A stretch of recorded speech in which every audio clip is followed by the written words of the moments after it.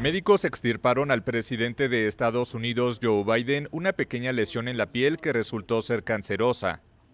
El doctor del mandatario Kevin O'Connor afirmó el viernes que se trata de un carcinoma vasocelular extirpado con éxito, que no tiende a extenderse ni a causar metástasis, por lo que no se requiere más tratamiento.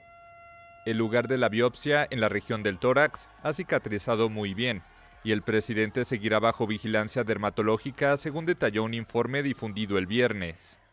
El carcinoma de células basales es diferente a otros cánceres de piel más graves, como el melanoma o el carcinoma de células escamosas. Se lo extirparon durante un chequeo médico anual el 16 de febrero, después del cual Biden fue declarado sano, vigoroso y apto para ejercer sus funciones.